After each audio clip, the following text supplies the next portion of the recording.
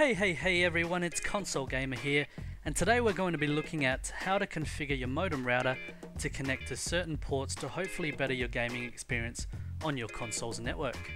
Now some of you may be aware that uh, I have a, an instruction video on how to create a DMZ um, using your console, and, and this method pretty much does the same thing, but um, it's all manually configured, and uh, there's a lot of uh, steps um, to, to, take in. So let's get into it, and um, let's see what we're going to do.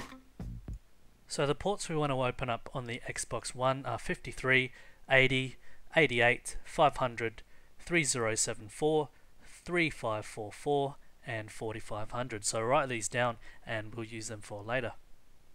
For the PS4, we want to open up ports 80, 443, 1935, 3478, 3479, and 3480. So write these down and keep them for later. But now it's time for step 1.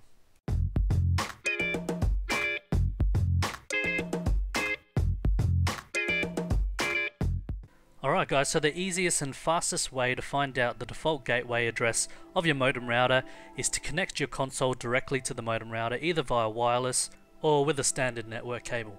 Once everything is connected and you're online, you basically want to go to the settings. So on the PS4, we want to go to settings and into network and we want to view connection status. So on this page, as you can see, we've got the IP address, subnet mask, and default gateway. Now you want to write down your default gateway and not mine, so write that down and record it for later. On the Xbox One, we want to go into the settings via the home menu, and in the settings, little prompt there, we'll go to settings again. And in the middle of the page, we want to go into the network settings, and the advanced settings just underneath that. So in the change settings window, as you can see on the right hand side, we've got the IP address, subnet mask and gateway.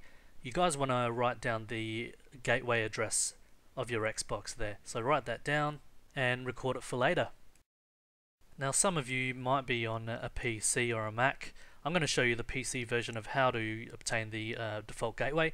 So the best way to do that is to click Start in the All Programs option, we'll go to the Accessories folder. In Accessories, there's Command Prompt. So just open that up and you'll be presented with a black screen like this. And what you want to do is type in ipconfig. So do that now and press enter. Now as you'll see a whole bunch of text will come up, just ignore all that. Well the one we're interested in is default gateway. So mine is 192.168.0.1 just write down your default address and we'll use it to log into the modem. If anyone happens to be using a Mac, what you need to do is find out the address via the terminal. It's basically the equivalent of command prompt in Windows. So this is how to do it. I'll add the, uh, the link to the description um, of this video. And that concludes how to find out the IP address of your modem router slash default gateway.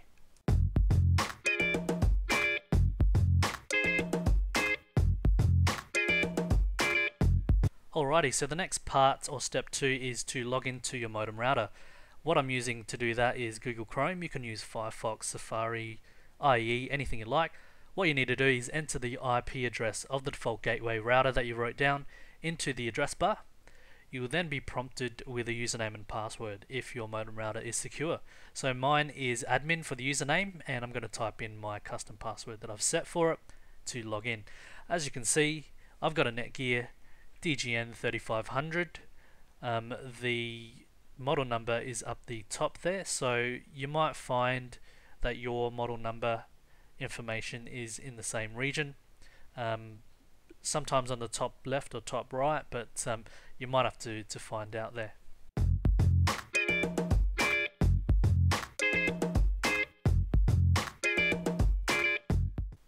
So in step 3 guys, we're going to go into a website called portforward.com. So what I'm going to do now is open up a new tab, type in portforward.com, press enter. As you can see, we're at the portforward site. I'll give you guys a link in the description as well. Now, it's funny because um, it's actually got links on.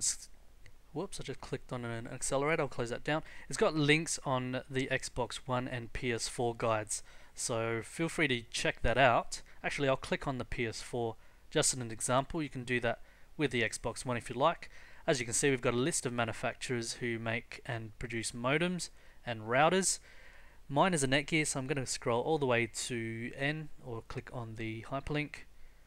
Now I'm going to scroll down to the model number of my modem router. So that's why I got you to log into the modem and record down your model number. Um, as you can see here in this page, it's got all the information that you need to log into the modem router and um, basically set up the configuration for port forwarding.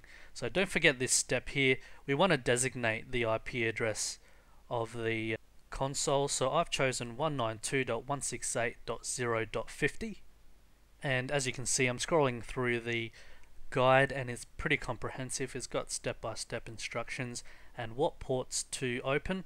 So feel free to read that. But now it's time to configure the modem router.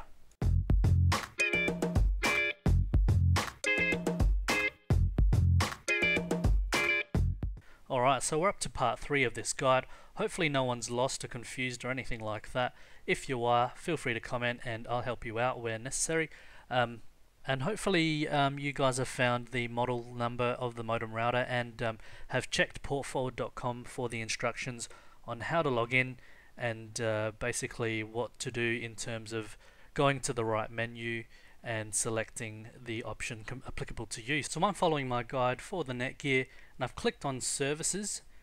Now as you can see it's pretty comprehensive so um, it tells us the, the ports to open as well but I'm, I'm not going through the guide, I've clicked on services as it's instructed me to do. I've given it a name. I'm going to generalize here. So it'll ask you for a name. Um, I'm going to call mine PS4 and then the port number. Um, the type is going to be TCP-UDP, so we want both open. Um, the start of the port is the port number we want to open, and the finished port is the same number. So we click apply. As you can see, it's opened up, well, it's showing up in my list of ports um, under services, as you can see, I've got Arma ports as well because I play Arma on PC. Um, now the guide is instructing me to go to firewall rules. Here we want to allow an inbound connection and I've just clicked add so I can add my inbound service. Now the service name is going to be what I've created earlier, the PS4 and the port number. The action we want to allow always, it's going to be different for you but mine says allow always and that's what we want to do. Now we want to send or allow the the port to be open for a, a uh, specific server and that's going to be the IP address of your console. So mine's 192.168.0.50. I'll hit apply and as you can see in the inbound services I've got it listed there. So I'm going to apply again to save the changes. But that's pretty much it in terms of um, allowing a port or, or forwarding a port to your particular console. Um, you pretty much have to do that for every port that that's listed um, in this video or the ones that are listed on portforward.com but um, yeah it's going to be different as I said but uh, portforward.com has a comprehensive list of modem routers that you can look up the guide for but that's pretty much it you create the service and allow the inbound connection to happen to the console directly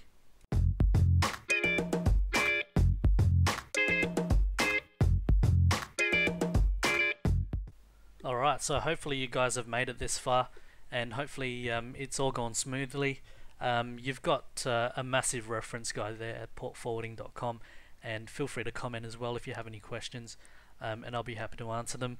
What we're doing now is downloading and installing the PF port checker which is a free download. It's only about 160 kilobytes so it shouldn't even take you 10 seconds to download. Um, and that can be found in portforward.com. I'll give you guys the link in the description. So we want to run it. We want to decline when it asks for some other software to, to install. So decline three times, as you can see, and it'll install um, PF Port Checker itself. So we want to finish, execute the software. Here we go. And as you can see, pretty simple application. We've got the port number to check. I'm going to uh, check port 80, so type in the port number. We can check whether we want to test it via UDP or TCP. Um, just unblock that as well. But as you can see, it's not going to work for me because I have um, ICMP uh, turned off on my modem router and basically that means I can't uh, receive an external packet from the internet to uh, confirm this port to check a test but hopefully it works for you guys. Let me know if it doesn't. Well that's pretty much it guys. That concludes the tutorial on how to configure your modem router for port forwarding. I hope you guys enjoyed the video and found it uh, useful and educational. Um, that pretty much concludes the tutorial. If you have um, anything you want to discuss feel free to comment. If you have any questions feel free to do the same. And if you like this video please take the time to hit the like button. Um, and if you want any further uh, tutorials in the future, feel free to uh, subscribe. Thank you very much.